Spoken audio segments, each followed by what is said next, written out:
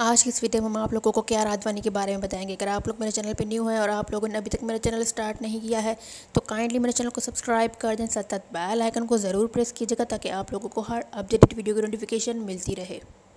जैसे कि आप सब लोग जानते हैं कि क्यारा आजवानी और सिद्धार्थ मल्होत्रा बहुत टाइम से एक दूसरे को डेट कर रहे हैं और अभी उन, उनके बारे में सुनने में आ रहा है कि वो दोनों जल्द ही नोट टाइट करने वाले हैं। लेकिन उस सबसे पहले मैं आपको बताती हूँ कि सैटरडे को क्यारा आडवाणी की बहन इशिका की मैरिज सेरेमनी थी, जो कि बहुत ही सीक्रेट मैरिज सेरेमनी जिसमें बहुत ही कम लोगों को बुलाया गया था और बहुत से फ़िल्म स्टार्स उसमें इंक्लूड नहीं किए जस्ट फैमिली मेंबर्स और कुछ क्लोज फ्रेंड्स उसमें थे।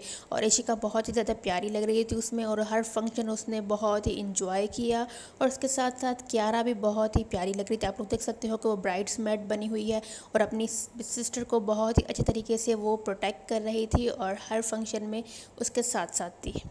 इशिता की शादी को सबने बहुत ही ज़्यादा इन्जॉय किया और बहुत ही ज़्यादा सबको मज़ा आया। और एपरेटली बताया जा रहा है कि सिद्धार्थ मल्होत्रा भी इशिका की शादी में आए थे, जो कि क्यारा की बहन है। उसकी शादी में उन्होंने भी शिरकत की थी। उम्मीद करती हूँ वीडियो आप लोगों को अच्छी लगी होगी। अच्छी लगे तो लाइक ज़रूर कर दीजिएगा। Thank you so much for watching the video friends